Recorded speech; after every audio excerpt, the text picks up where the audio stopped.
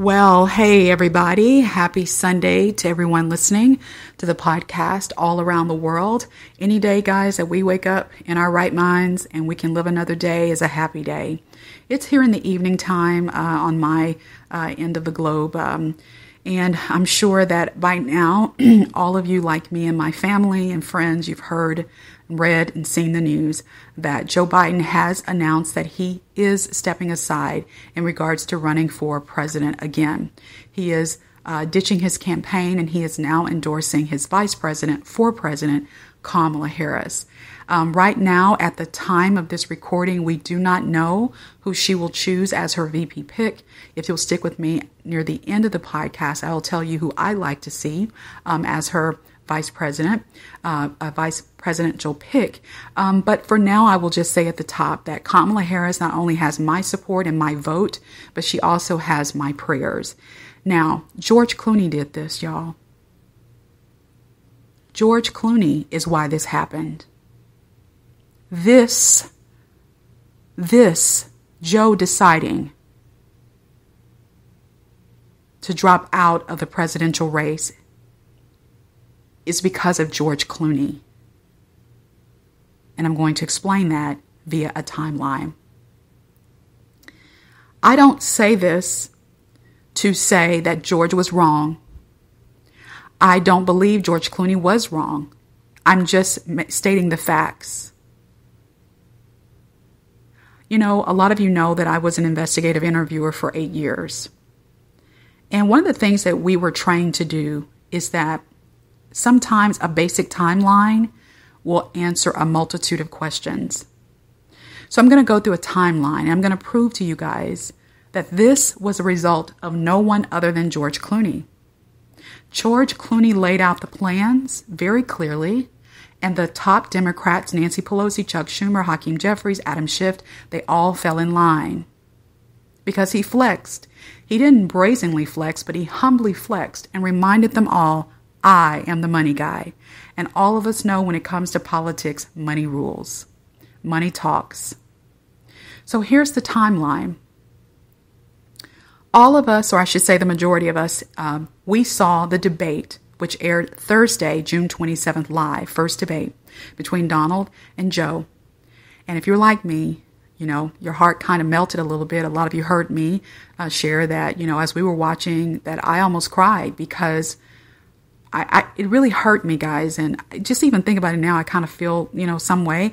But then, too, I'm the same person. I get secondhand embarrassment from other people's embarrassment, you know. But it just hurt me to see him struggle so.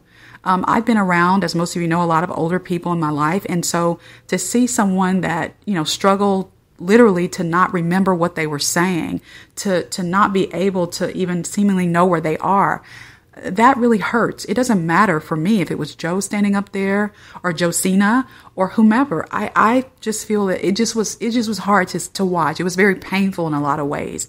Okay. But that was Thursday. Okay.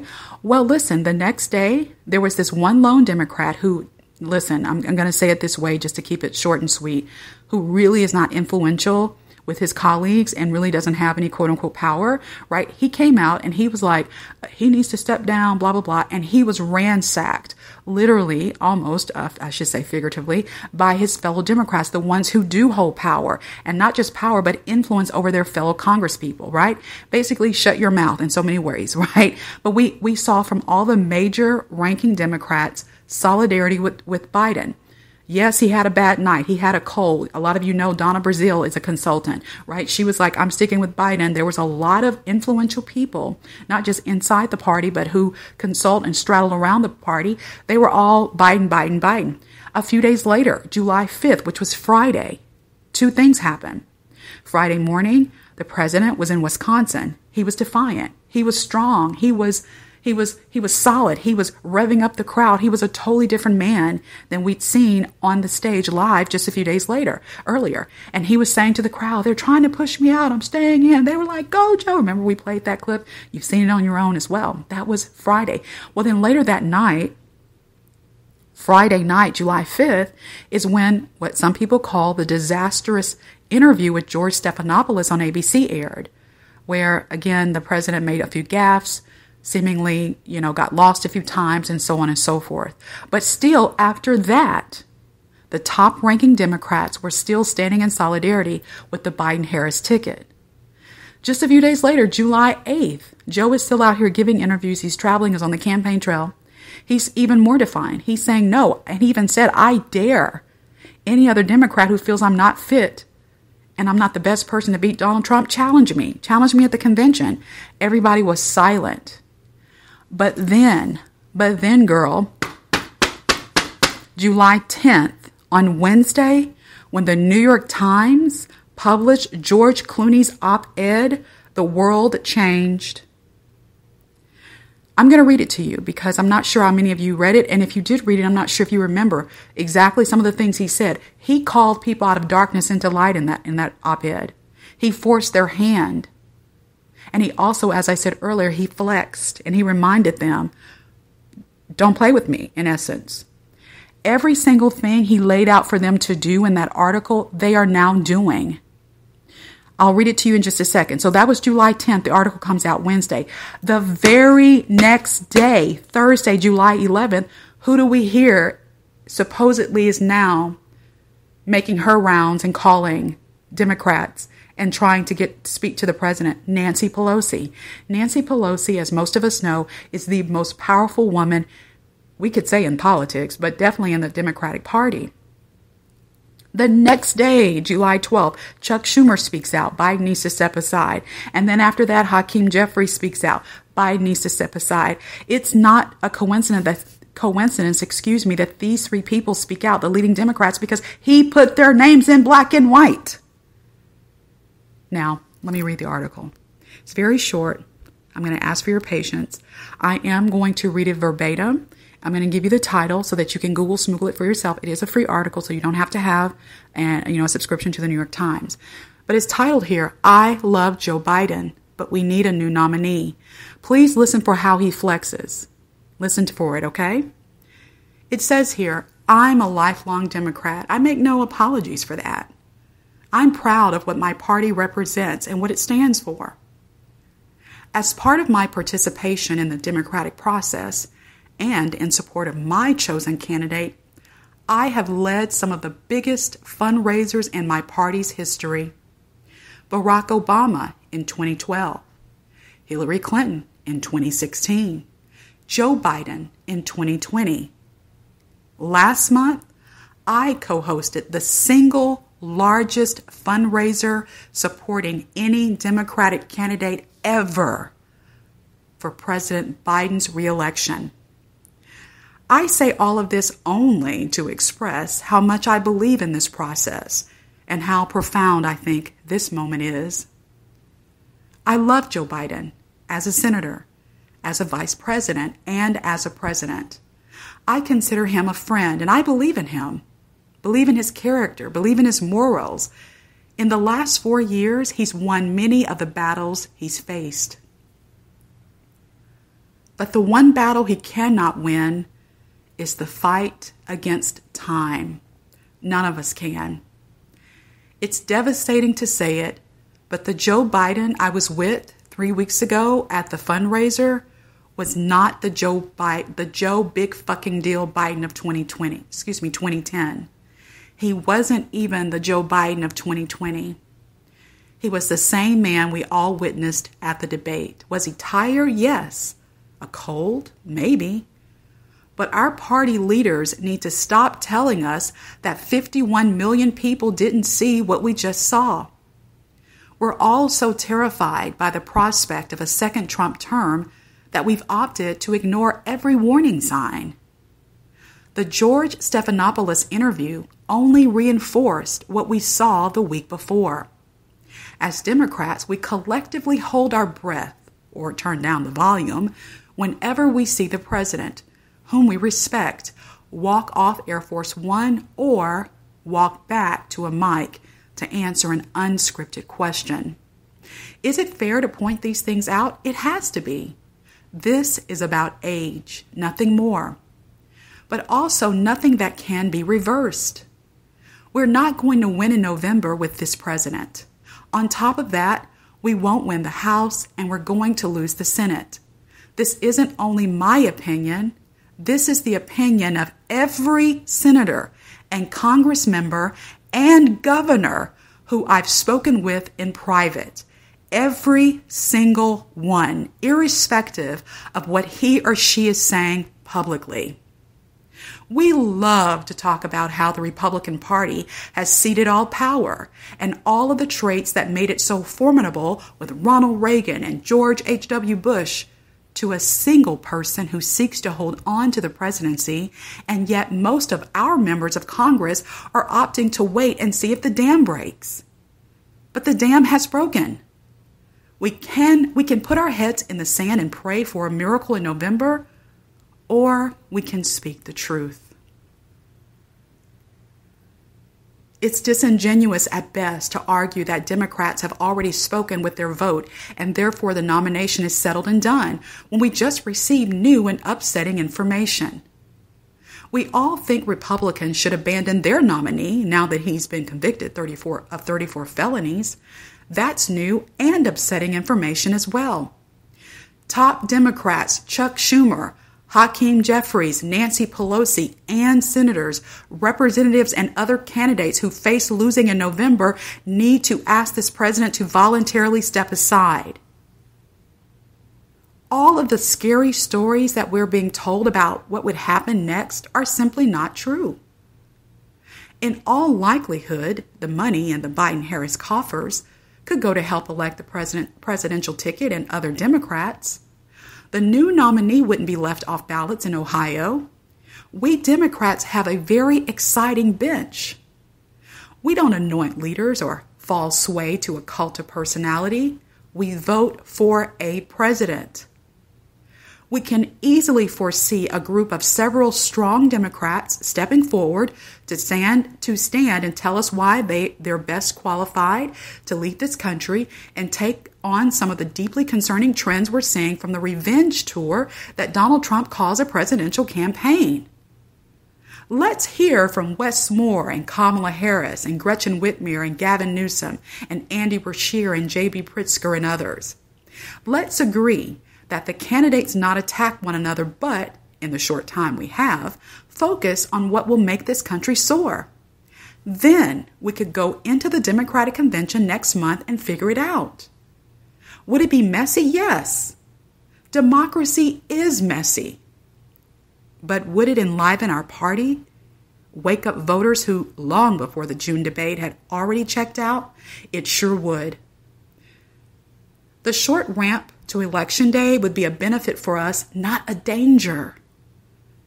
It would give us the, the chance to showcase the future without so much opposition research and negative campaigning that comes with these ridiculously long and expensive election sessions, excuse me, seasons.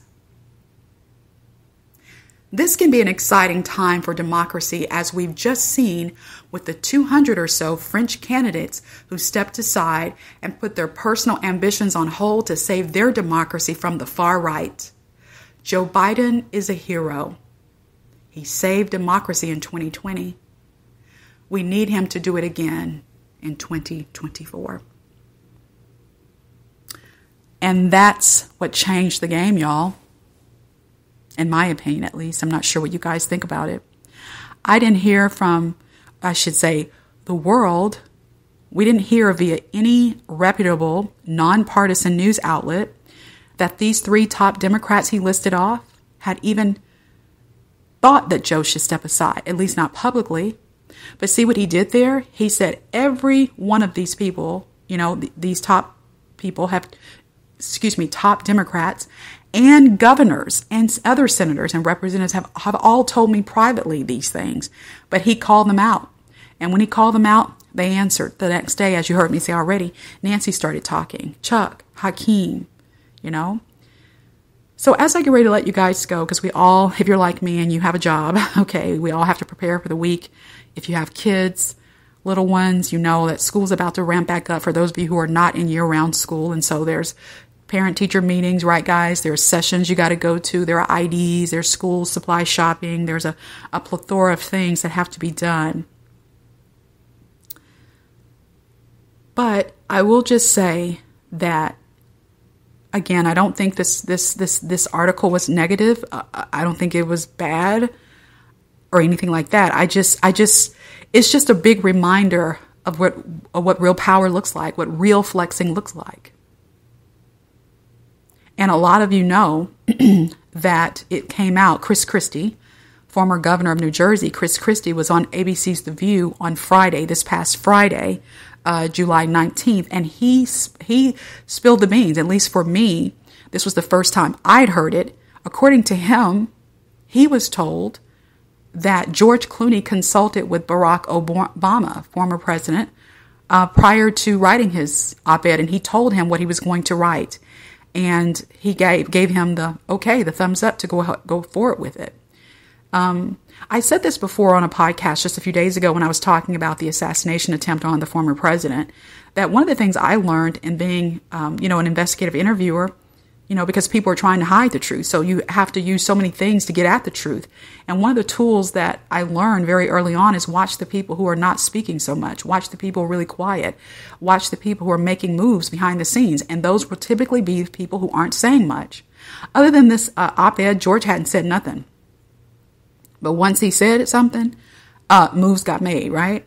So, why did I cry? Why did I cry when I was watching the news today? Well, I cried because I didn't want it. I didn't want Joe to step aside. You say, but you, you just said, girl, that you saw him. I know. I saw, I said that and I saw that. But I, you know, when I learned that the, a neurologist had been visiting, had visited rather, the White House eight times over eight months, I understood what that meant. I, I knew, uh, understood that they were monitoring his condition and they knew the reason the guy kept coming back is because he's probably in the early stages of Parkinson's disease. Uh, I don't know if I said this because I don't have any full flesh notes here. The neurologist was a, uh, specialized in Parkinson's disease. Um, and th- that was shown by the White House logs, for those of you who didn't know that story that came out a few days back. Of course, the president denied having any major health issues. Um, but I, I, understood what that meant that he's in the early stages, they're monitoring it, he's still good. Um, it's kind of like when you get diagnosed with anything. There are stages, and there are certain things, you know, you're good at this stage, maybe not going to be so good at another stage. But for me, a lot of you know that one of the experts that I hold in high esteem is Dr. Bandy X. Lee. B A N D Y X Lee. You can find her anywhere on social media. She is a forensic psychiatrist and psychologist. She specializes in violence. She has worked with the World Health Organization. She was a professor at Yale before she was fired for speaking out and warning the public about the, da- the psychotic dangers of President Trump and that his psychotic symptoms would spread. A lot of you remember um, her and her esteemed colleagues. Um, they wrote a book, 37 Psychologists and Mental Health Professionals, um, you know, the dangerous case of Donald Trump. And I look to her as an expert. I don't, you know, for me, an expert is not somebody who just has the education, but they also have the experience. She worked in the field for 25 years and she continued. I mean, she worked with some of the most dangerous prison cell gangs, guys that are here in our country. She's been consulted by international figures because there are other countries who believe in bringing mental health professionals to the table of decision making. The U.S., unfortunately, other than our Surgeon General and a few other people, uh, we just haven't done that yet. But after that debate, I immediately went to her Substack. I follow her on social media, and I want to see what is she saying. She's an expert, again, not just in education but in experience. And she said, "I am not worried about his mental fitness to serve." And I took my cue from her, and I thought, okay, she's an expert. I'm not. She's seen more than I have. I believe her. And so I wasn't concerned about his ability to lead the country. I, I also believed that, and still do, that President Joe Biden has the ability to staff the right people around him. No person, be they fit or unfit, in this case, nobody runs the, the United States alone. The president, yes, is the final decision maker in the face of our country, our nation, but he or she doesn't act alone. They have a team of people that help them run the country day to day. And I know and I believe in my heart, Joe Biden has the conscience, um, the empathy, the ability to know right from wrong, which does matter, guys, to staff the right people. I mean, he's done it now in his current administration. And so I had faith, and I still do have faith in his abilities. Yes, yes, yes, I believe he has Parkinson's, but I believe he's in the very, very early stages. And I, again, as I said, I believe that's why he's being monitored. I don't know that. I'm not a mental health professional. Dr. Bandy X. Lee did not say that. She just says she was not. Seeing all that she saw, even after the debate, she's not concerned. I thought, okay, I'm not going to be concerned either. We have to have people, of course, in our real everyday lives that we can touch, feel, and talk to, but also real people in the world of their expertise in their area, in their field, and who we can look to to say, okay, uh, this person's not worried. I trust them. You know, she's not out to make anything. She's not. She's not a grifter like a lot of these people, right? And for me, having researched her heavily and followed her now for six years, I believe what she has to say. So I say all that to say I wouldn't worry. But I cried because I just didn't want him to step down. I thought, oh, he gave in to the pressure. George. no, I'm just joking. He gave in to the money pressure. I mean, listen, this stuff costs money, y'all. These campaigns, I mean, I was like, what? Six million dollars can be gone in two days? What?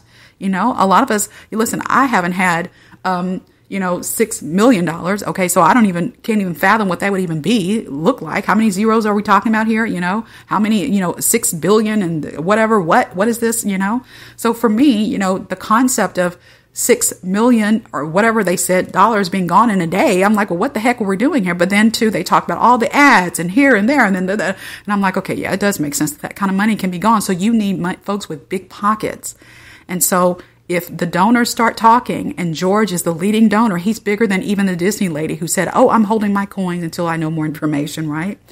Um, and so at any rate, so it was just, it was sad. You know, it's just sad. It was sad for me to know that he stepped down, but I agree with everyone that I've seen on the news talking about it. It was a patriotic thing to do. Yes, it was a pressured decision. I don't feel that he would have had this, this not happened. Um, but he did.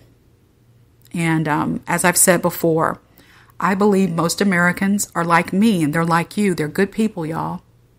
And the good people in this country, folks like me and you, we can see the writing on the wall. We know what's going on.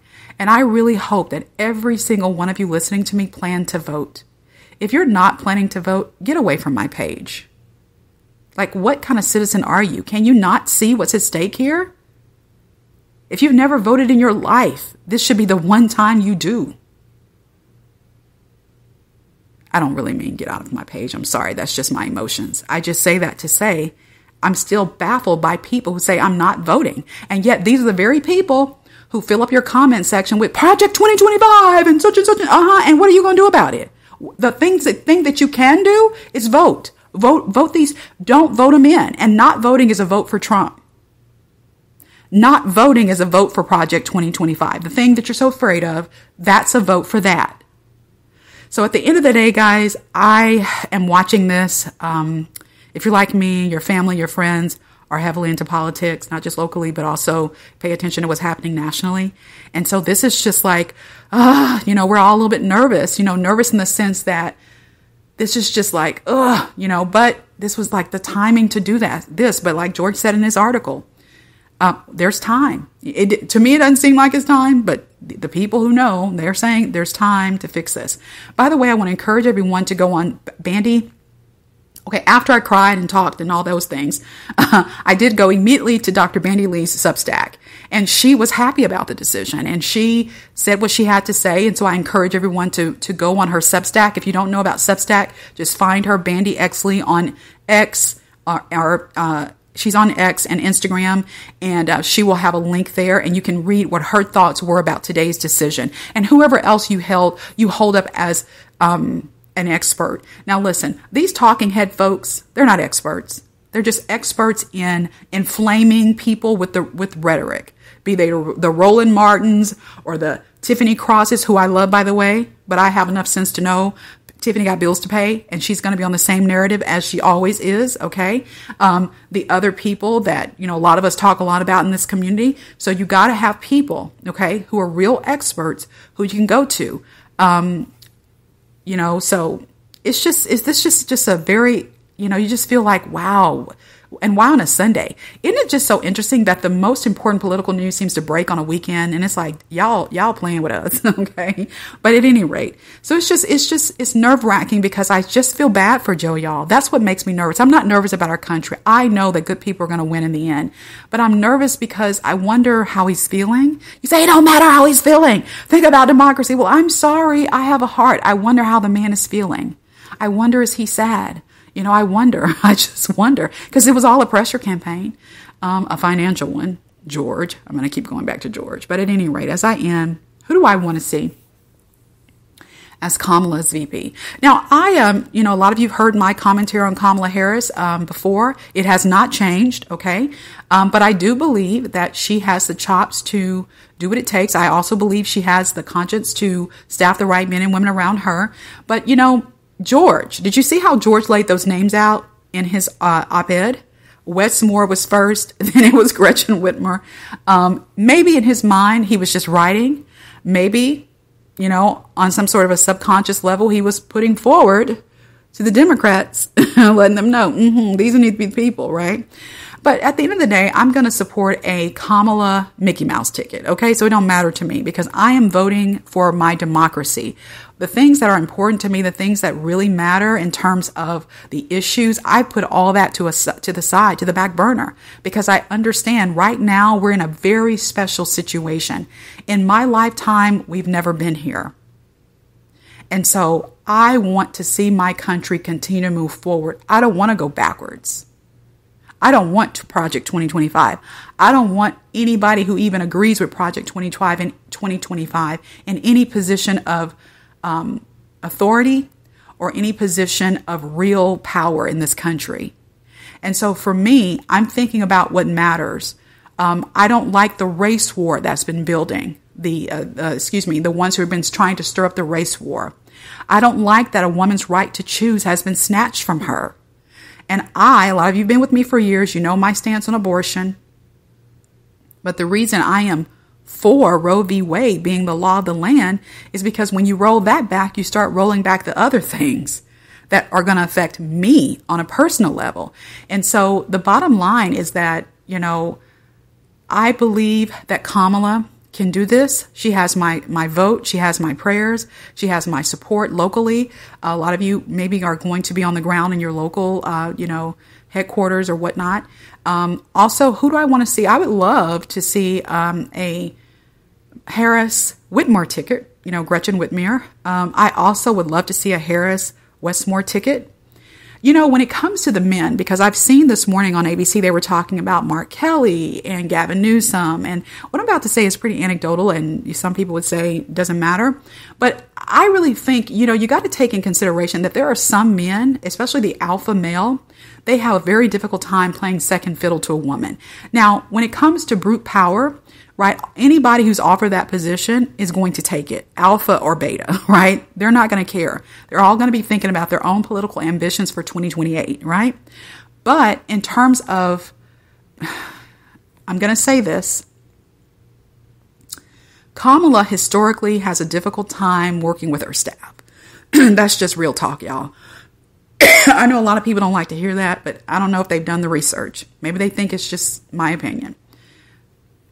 The lady has a difficult time keeping staff, kind of communicating because she struggles to communicate sometimes clearly, although she's a prosecutor. And you wouldn't think that, but you know, listen, being in a courtroom is different from working with people day to day. Okay, that, that calls for a whole different set of skills, right?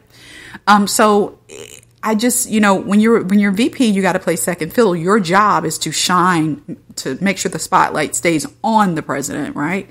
And to basically be a mirror to the president. And so I think it's very it's going to be very very important that if they if they go with the male, that the male needs to be a beta male, like Pete Buttigieg, okay?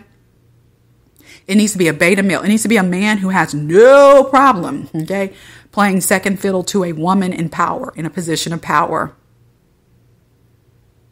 And you got to think about that person's spouse. You know, you can't, maybe your spouse is okay with you playing second fiddle, but you're, uh, you know, we don't want a Ginni Thomas thing. Y'all know what I mean by Clarence Thomas's wife, Ginni Thomas. You don't want a spouse like that. So even their spouses matter. And, you know, I've seen interviews with Pete Buttigieg and his husband, and they, uh, his husband seems like a really nice person. Um, so, you know, he might would be good. Um, but at the end of the day, I really think that they are going to have to take those types of things into consideration because who knows what tomorrow will bring with this whole Trump mess. And so we got four years, and these people, whoever they're going to be, uh, the last thing we want is to be able to then start getting leaks from the White House that such and such is not getting along with Kamala, and such and such and such and such. And there was an argument over here in the corner because some men, they have a very difficult time humbling themselves to a woman and saying, Yes, Madam President, right? You say, well, These people are so desperate for power, they'll tuck their, oh, excuse me, excuse me They'll tuck their penises and do whatever she says. But you know what? I don't know, y'all. Gavin and some of these other men, they uh, like Mark Kelly, they have been used to running the show and and kind of being, you know, out there front and center. I don't know. So you guys have to drop down in the comments let me know what you think about that. Okay, guys, let me let you go. We all got things to do. Thank you so much for hanging out with me this Sunday as we hang out together and talk about our feelings, our thoughts about the announcement that was made today. I want to just, uh, uh, you know, assure everyone who may be a little bit nervous. And when I say nervous, I don't mean nervous about what I was telling you, like nervous about how is Joe feeling, how is it, you, you know. Um, but maybe you are truly scared um, and all those things. I can promise you everything is going to be okay. It really is. It really, really is.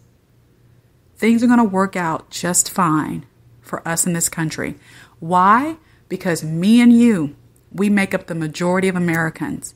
We are good. We are hardworking. A lot of us are God fearing. Uh, we love our families. We love our communities. We love our country. We are real patriots, okay? Um, we know how to get along with each other. We love our neighbor. You know, um, you know, we believe in putting back into this economy. All those things. We do our civic duty. Most Americans are like us. And so, even had Biden not dropped out, Trump still would not have won. Remember, I, I keep going back to this. The past predicts the future. He didn't win the popular, popular vote when he was running against Hillary. Remember the out, all the protests when um, Hillary won the popular vote?